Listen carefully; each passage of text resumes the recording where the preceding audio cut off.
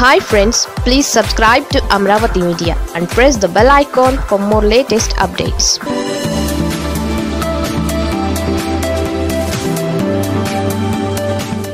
Akhila Priya చున్నీ లాగింది. నిజమేనా?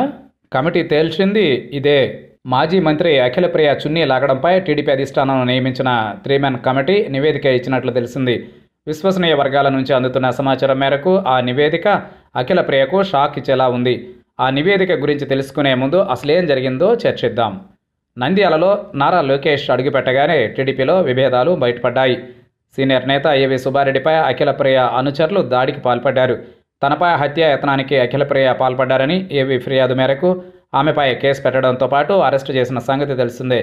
అలాగే తన చున్నీ పట్టుకుని లాగి హత్య చేయడానికి ఏవి ప్రయత్నించారని అఖిలప్రియ ఫిర్యాదు చేశారు.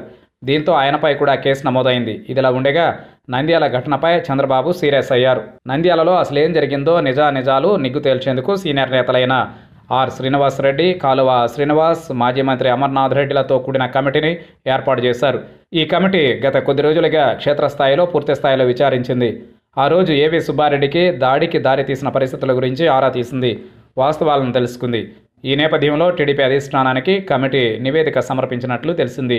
అఖిలప్రియ ఆరోపించినట్లు ఆమె చున్నీ లాగారనడంలో వాస్తవం లేదని కమిటీ తేల్చేసినట్లు విశ్వసనీయ సమాచారం. ఈ నేపథ్యంలో టీడీపీ నిర్ణయంపై సర్వత్రా ఉత్కంఠ నెలకొంది. ఎందుకంటే నారా లోకేష్ పాదయాత్రలో టీడీపీ సీనియర్ నేతపై సొంత పార్టీ నేతలే దాడికి పాల్పడడాన్ని చంద్రబాబు జీర్ణించుకోలేకపోతున్నారు.